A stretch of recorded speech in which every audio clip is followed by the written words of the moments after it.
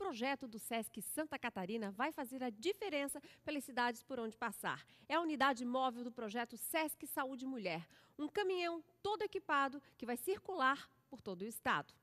Nele, as mulheres têm a possibilidade de realizar vários tipos de exames gratuitamente. A primeira cidade a receber o projeto foi Biguaçu. O caminhão está lá ainda, à disposição das moradoras, e a nossa equipe foi conferir como está funcionando.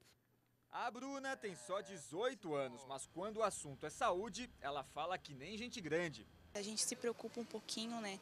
Porque não vem escrito na pessoa que ela tem essa doença ou algo do tipo. E às vezes pode acontecer da pessoa ter algum tipo de envolvimento, a pessoa ter essa doença e não avisar para a pessoa. Então a gente se preocupa. E também não é só por causa de doença, algum tipo de infecção.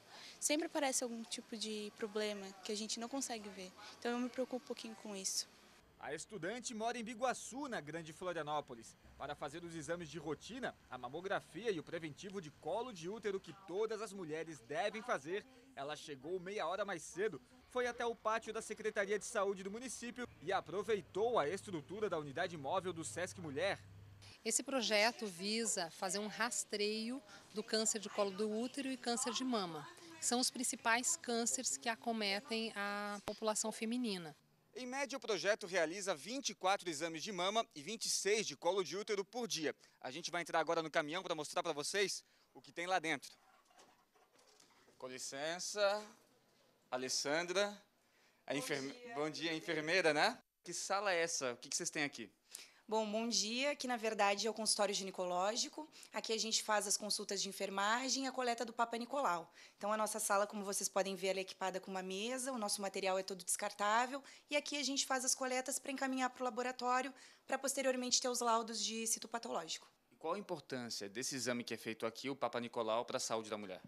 Bom, sem dúvida, a gente sabe que o câncer de colo de útero é, tá, é está entre os maiores índices de câncer no país.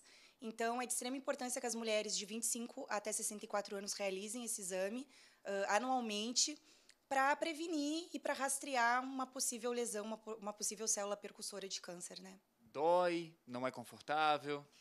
Isso as mulheres perguntam demais para a gente, né? Na verdade, é um exame desconfortável, né? A posição e, a colocação do espéculo é desconfortável, mas a coleta em si ela é indolor, não tem dor. E se a gente pensar em todo o benefício que tem nessa coleta, que depois essa mulher vai ficar um ano sem precisar realizar o exame, né? E o que mais vocês têm aqui no caminhão?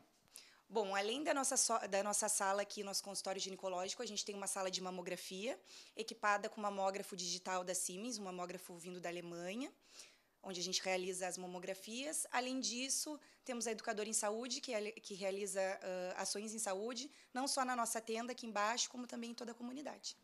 Ah, essa outra salinha aqui. Esse é o aparelho, então? Isso, exatamente. Esse é o nosso, o nosso mamógrafo, um mamógrafo da Siemens, um mamógrafo digital, que ele é bem diferente do mamógrafo convencional, ele dá uma imagem de alta qualidade, onde a gente consegue uh, detectar células de até 0,2 milímetros. Então, ele é muito específico uh, e o nosso xodó aqui do caminhão.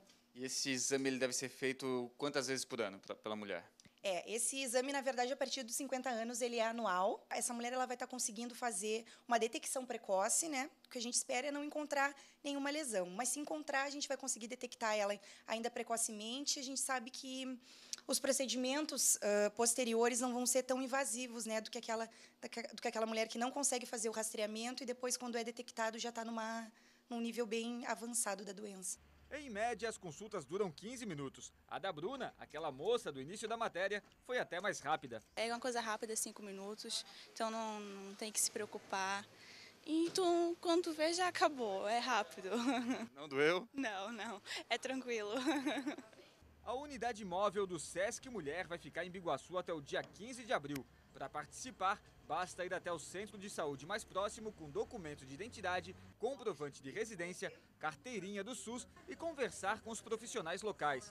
Os exames levam cerca de 15 dias para ficar prontos e são encaminhados direto para o posto onde aconteceu o primeiro atendimento. E atenção você aí, homem, que está só de olho na matéria. Não são só as mulheres que devem tomar conta da saúde não, hein? Que o câncer de mama também acomete os homens.